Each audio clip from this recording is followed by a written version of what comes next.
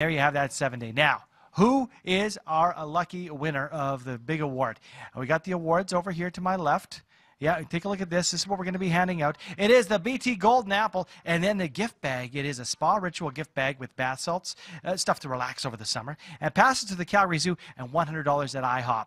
How about this? Mrs. Petsitis, Doreen Petsitis, you're our grand champion. How are you? I'm good, thank you. Yay! you knew about this because you had to get the kids calmed down. And of course, winning, uh, you know, a golden apple is one thing. Um, this is a big deal because it shows not only your students, but the parents of your students. Uh, you know, they really think a lot about what you do. What makes it fun?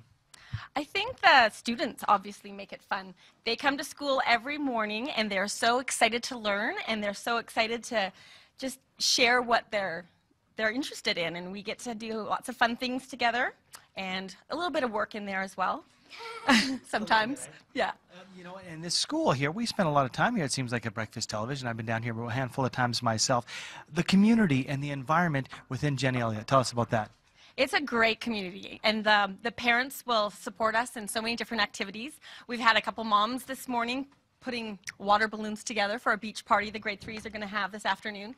So any task that is needed, our parents step up, and we had a very successful play day just a couple days ago. Without the parents helping out with that, it would just be, it wouldn't have uh, been such a big success.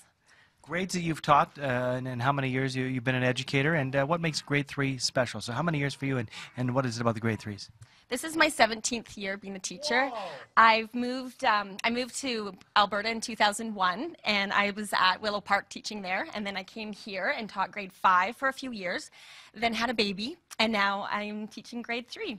And I love grade three. This is a good age because you get them while they're young and get them excited about school and excited about doing different activities and projects. Yeah, very excited. It's a good grade. Well, congratulations again, Spa Ritual with the gift basket. $100 at IHOP. You're going to be going to the zoo and you get the coveted BT Golden Apple, but the Teacher of the Year uh, edition. How about this, class? Can we give a big round of applause to Mrs. Petsinis? Doreen Petsinis is our Teacher of the Year for Breakfast Television 2015. Congratulations.